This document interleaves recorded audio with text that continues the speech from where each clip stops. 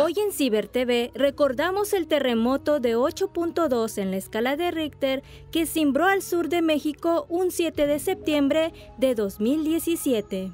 Fue una larga noche para los habitantes de Oaxaca, Chiapas y Tabasco, quienes a las 23 horas con 49 minutos fueron brutalmente despertados por el fuerte movimiento telúrico con epicentro a 137 kilómetros al suroeste del municipio de Tonalá, en Chiapas, pero que también se alcanzó a percibir en Guatemala, El Salvador y Honduras. El fenómeno provocó miedo entre la gente que comenzó a implorar y a hincarse suplicando que el fenómeno terminara.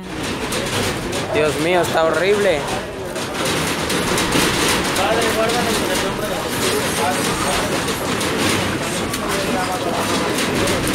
El temblor, que duró 3 minutos con 49 segundos, dejó a su paso más de 100 víctimas mortales, 78 en Oaxaca, 18 en Chiapas y 4 más en Tabasco, según las autoridades de protección civil.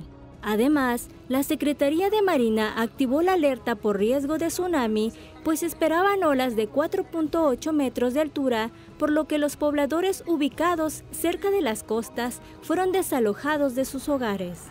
La Secretaría de Educación suspendió clases en las tres entidades más afectadas y también en Puebla, Estado de México, Guerrero, Hidalgo, Morelos, Tlaxcala, Veracruz y la Ciudad de México como medida preventiva. El terremoto del 7 de septiembre de 2017 ha sido uno de los de mayor magnitud en fuerza, daños materiales y fallecidos en 100 años, hablando solo de los que se han sentido en México, ya que en otras partes del mundo se han registrado movimientos de hasta 9.1.